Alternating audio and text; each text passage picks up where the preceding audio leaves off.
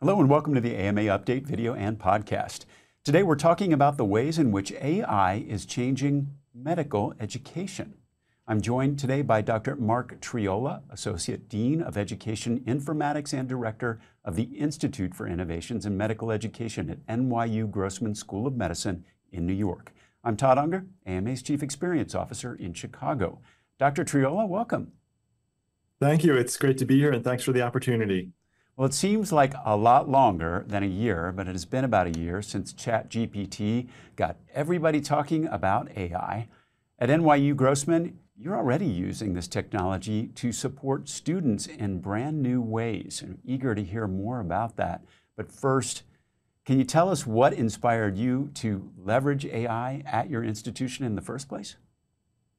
Well, I think like everyone around the world, we were struck by the power of AI, the rapidity by which it, these innovations were being developed, how accurate and realistic the text they were generating was, how well it handled understanding concepts in text.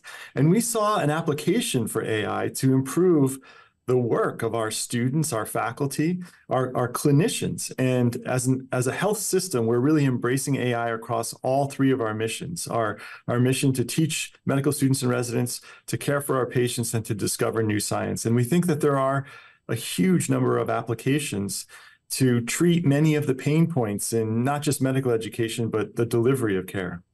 It's interesting because so much of the discussion over the past year has been about concern about how students are going to use AI. So we're really talking about a different thing. So let's take a closer look at the ways that you're using AI, starting with how it's helping your students learn and access research. Tell us more about that. Sure. One of the first projects that we did was a project called DX Mentor, where we are using AI to automatically identify learning resources and the latest medical literature based on the diagnoses of the patients they're caring for. We built a system here that connects data from our EPIC electronic health record, and it, it understands which patients in EPIC are being cared for by our medical students, connecting that data with a digital catalog of educational resources. Some of these things are, are infographics, are videos about clinical diagnoses, and the medical literature itself, all of the latest guideline and review papers that are published in, in uh, PubMed. This system every day curates a custom set of nudges for each of our students that delivers to them recommended learning and recommended readings for the patient they had admitted the day before or the night before. It's just in time. It's it's curated completely by the AI, no human intervention needed, and it's customized for, for every student. So it's a nice example of precision medical education enabled by the power of, of generative AI and artificial intelligence systems. Well, really interesting and so so practical to uh, their experience with patient care. Another way that you're using AI is to help students study I'm sure that's welcome news to your students. How does that exactly work? Sure, and we're so we're experimenting in this area, and I I want to point out that medical students across the country are experimenting with this, and medical students have been doing a fantastic job of organizing themselves, sharing prompts for the AI to generate uh, USMLE type questions, flashcards to study. They're even using the AI to create virtual patients that they can interview and diagnose and get feedback from the AI on their performance in gathering a history or being empathic with patients. We've created a similar system here that curates publicly available data sets of self-study questions, the educational resources that I mentioned before, to connect the dots between what our students need at the individual level and this growing amount of, of digital educational resources. And the glue that can tie them all together so efficiently these days is AI. And that's so we're working very hard to implement that to really provide our students with a very precise and personalized suite of assessment and curricular items to help them learn and study in as frictionless a way as possible. Gosh, I love that idea of the virtual patient diagnosis. Uh, what a great example of that. Uh, in addition to all the studying, of course, med school is also at times for students to think about their career goals. And I know, having talked to a lot of students, uh, what's on their mind the moment they get into uh, medical school. Uh, great news is that they can now use AI to help them with this task. what can you tell us about how it's being used there? So the use of AI to support our students with their goal setting and achieving their goals was an area that was surprising and powerful. Our students author goals that they share with their coaches in a custom software application that we've built here to support our students, to, to help our faculty coaches over their time during medical school. And we've added ChatGPT to that as well. When our students are writing goals, they have the ability to click a button and get feedback from ChatGPT, suggestions on how they might accomplish that goal. And what we found is, is that by no means do the suggestions from ChatGPT replace the advice that they get from that faculty member who knows them well. But they are often very concrete and detailed suggestions. Which journals should they read if they're interested in a particular specialty? ChatGPT even knows all about the clinics at our hospital and can suggest individual faculty at NYU or clinics that a student might want to shadow in or do research with if they want to learn more about a particular topic. So in this case, it's been a nice supplement to our human coaches in a way that AI, at least in the education sphere, can begin to really enhance the ability of of our faculty and our students to better leverage their time and make decisions quickly and efficiently and accurately about their career planning. Uh, really interesting. I think the word that has kept popping up as we talked about AI with several folks over the past week has been about augmenting. Is that kind of how you see uh, it playing a role at, at, at your institution? Absolutely. Yeah. AI is about giving everybody superpowers. It's not about replacing doctors. It's not about replacing medical students. It's not even about replacing the skills that they need to learn.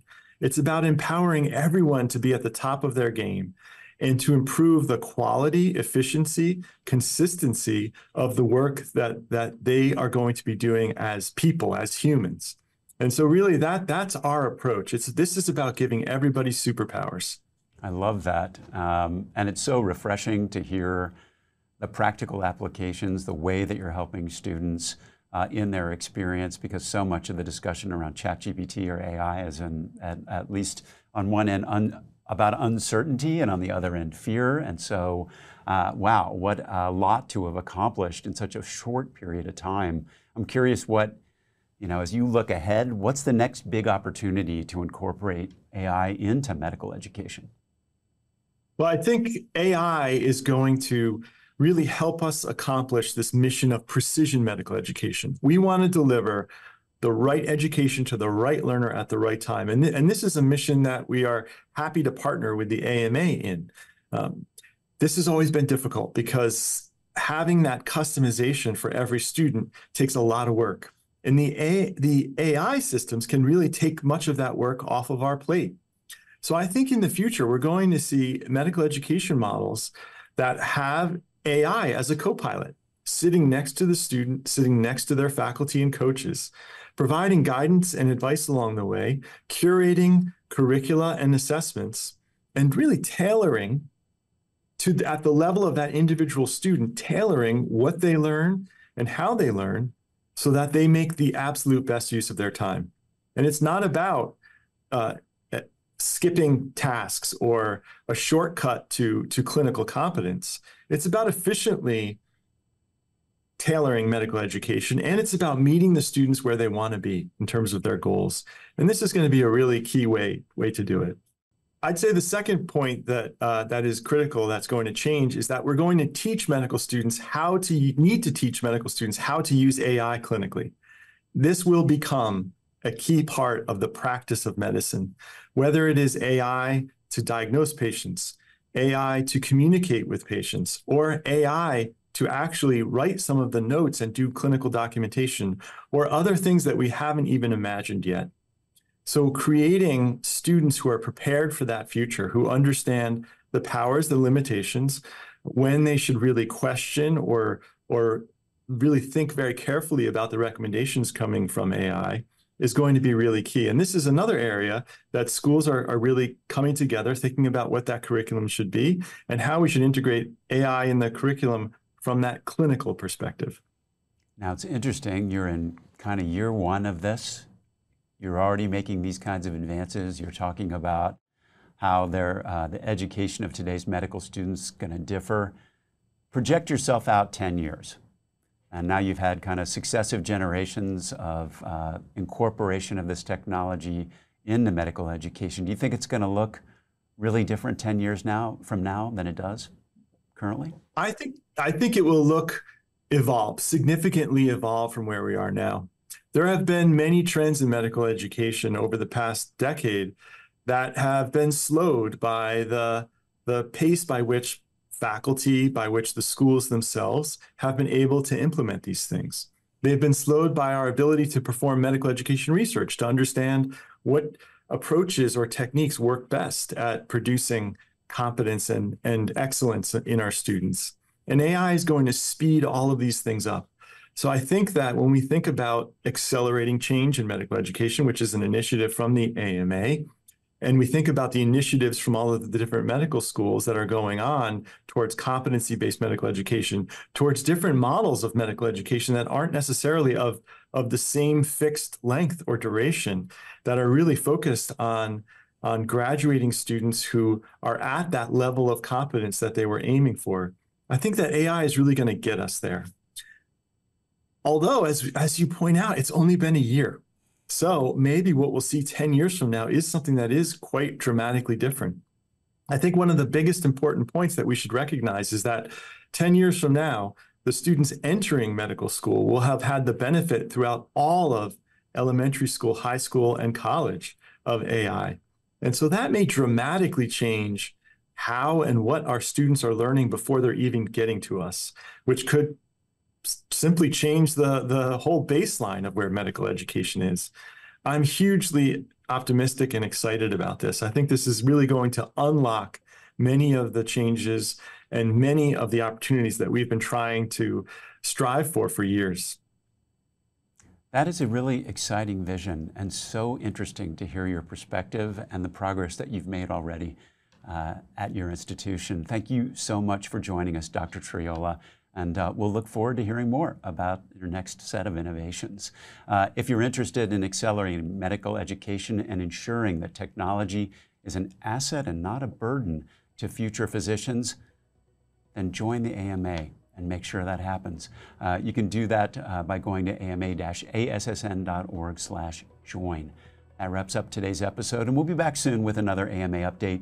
Be sure to subscribe for new episodes and find all our videos and podcasts at ama-assn.org slash podcasts. Thanks for joining us today.